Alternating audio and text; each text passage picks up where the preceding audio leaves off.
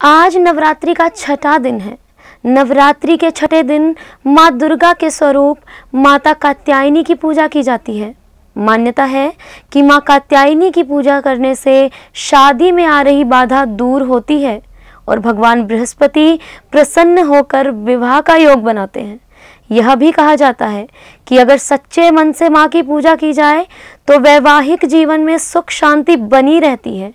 माँ कात्यायनी की साधना से धर्म, अर्थ, काम और मोक्ष चारों फलों की प्राप्ति होती है। पौराणिक मान्यताओं के अनुसार माता कात्यायनी की उपासना से भक्त को अपने आप आज्ञा चक्र जागृति की सिद्धियाँ मिल जाती हैं। साथ ही वह इस लोक में स्थित रहकर भी अलौकिक तेज और प्रभाव से युक्त हो जाता है। माँ कात्यायनी की उपासना से रोग, शोक, संताप और भय नष्ट हो जाते हैं।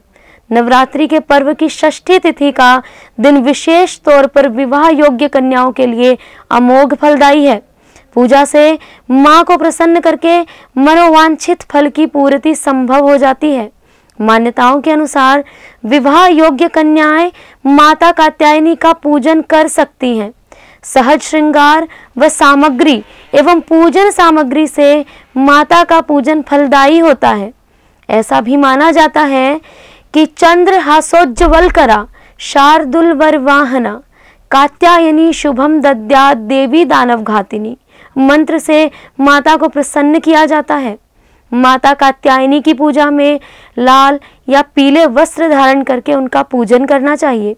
पूजा की थाली में कुमकुम अक्षत, हल्दी, मेहंदी समेत सभी पूजन सामग्री और वस्त्र समर्पित करें। देवी माँ को हल्दी की तीन गांठ अर्पित करें, फिर उन्हें अपने पास रख लें। माता को शहद भी प्रिय है, उसे भी माँ को समर्पित करना चाहिए। माता को पीले फूल और पीला नैवेद्य अर्पित करना चाहिए। महर्षि कात्यायन ने त्रिदेवों को अपनी तपस्या से खुश करके माँ को अपनी बेटी के रूप में मांगा था। इसके बाद माँ दुर्गा ने उनकी बेटी के रूप में जन्म लिया। इसलिए इनका नाम देवी कात्यायनी पड़ा। माता कात्यायनी की उपासना से अर्थ, धर्म, काम और मोक्ष की प्राप्ति होती है।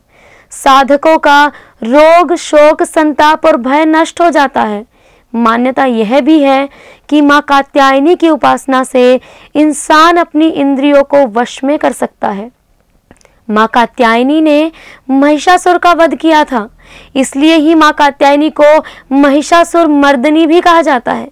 इसके अलावा माता रानी को दानवों और असुरों का विनाश करने वाली देवी कहते हैं। ऐसी मान्यता है कि महर्षि कात्यायन की तपस्या से प्रसन्न होकर आदि शक्ति ने उनके यहाँ पुत्री के रूप में जन्म लिया था।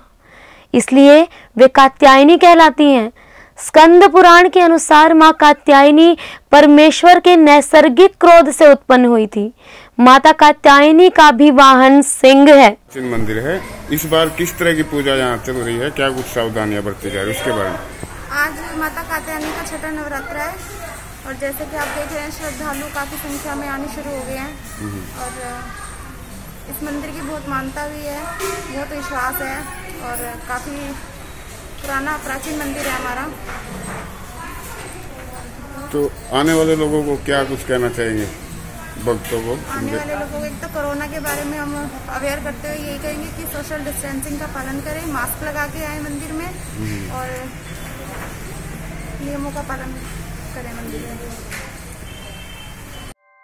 ऐसे ही लेटेस्ट खबरें पाने के लिए बेल आइकन को क्लिक कर हमारे चैनल को लाइक शेयर एंड सब्सक्राइब करें। धन्यवाद JBD Banquets lie हैं incredible marriage palace Rajgharana and the finest banquet hall Jyoti Garden. World-class catering, centrally air-conditioned, lush green lawns, state-of-the-art lighting. A perfect venue for wedding, launching and parties. Rajgharana and Jyoti Garden at JBD Banquets Enterprise.